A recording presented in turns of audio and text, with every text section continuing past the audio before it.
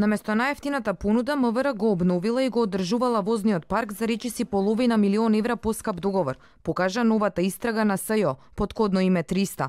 Толку возила биле набавени во периодот од 2008 до 2012 година. Постои основано сомнение дека со незаконското повластување и доделување на договори за јавни набавки за купопродажба, сервисирање и одржување на патнички моторни возила за економските оператори.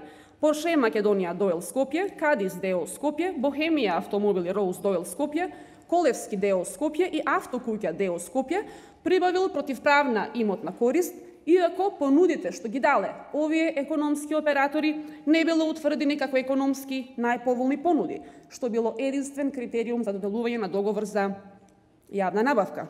Од доказите со кои располага СЈО произлегува дека првоосомничениот помошник министер во МВР, овластен од министерот да ги спроведува јавните набавки, наместо да ја избере најповолната понуда, спротивно на законот за јавни набавки, свесно склучил договор со економските оператори кои имале понудено по висока цена.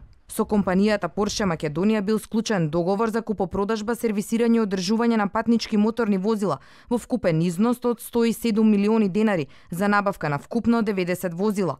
Отаму наведуваат дека нема ништо спорно во набавката и дека тие ги исполниле условите и за добивање на договорот и за испорачување на се што било нарачано од надлежниот орган.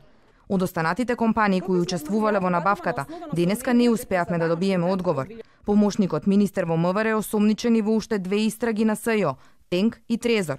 За него не е побарана мерка за обезбедување на присуство во текот на истражната постапка.